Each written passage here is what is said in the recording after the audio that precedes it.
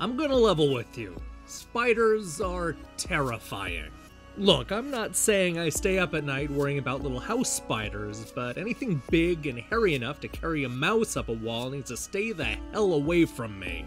Video game developers seem to share our fears, often using the little critters in the creepiest ways possible. But not Spider, Rite of the Shrouded Moon, the brand new game from Tiger Style. This unique little puzzler attempts to give us a better understanding of the life and times of a web spinning insect. As it turns out, you have a pretty good reason to be freaked out by your eight legged house guests. These little spiders have an insatiable appetite, but only for other insects. The goal is to systematically move from one room to the next, laying strategically placed webs and chowing down on all of the bugs you catch.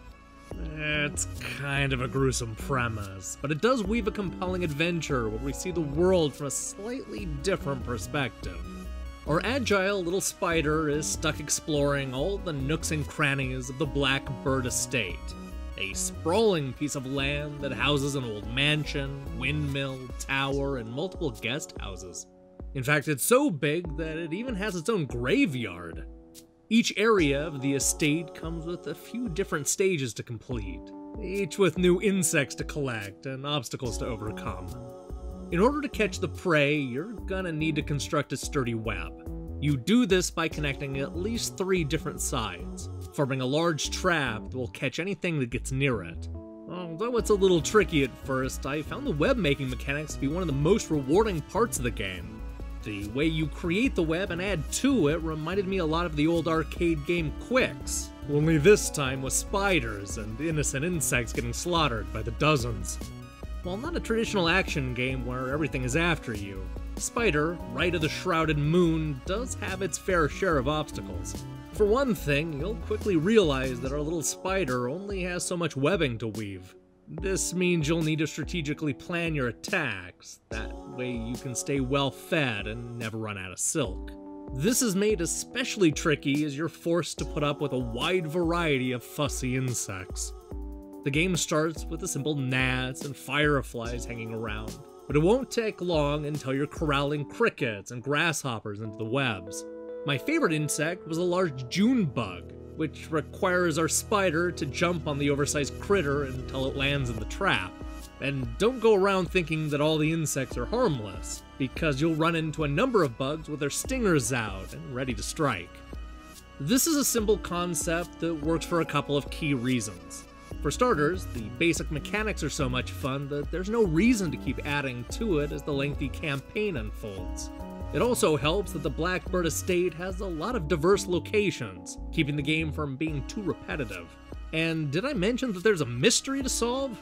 Well, it's true, and our tiny spider can locate all the clues by investigating the out of the way spots on each of the levels.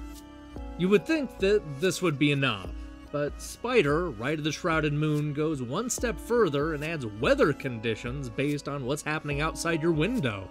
By using your IP address, it reads your hometown forecast, and then try to match the time of day and rain patterns. If you're playing during the day, the game will look brighter and more inviting. On the flip side, playing during a storm will give you a much soggier experience.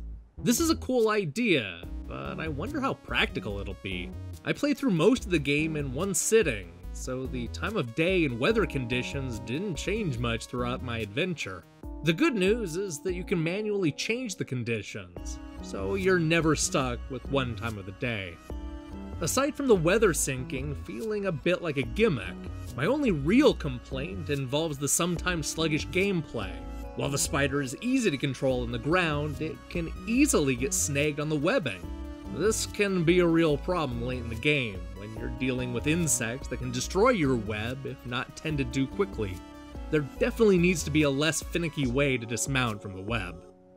Spider, Rite of the Shrouded Moon is a slight game that executes its simple premise to near perfection.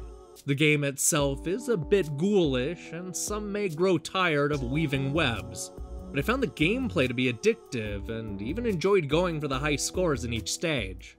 I can't believe I'm about to say this, but maybe the world needs more games starring spiders.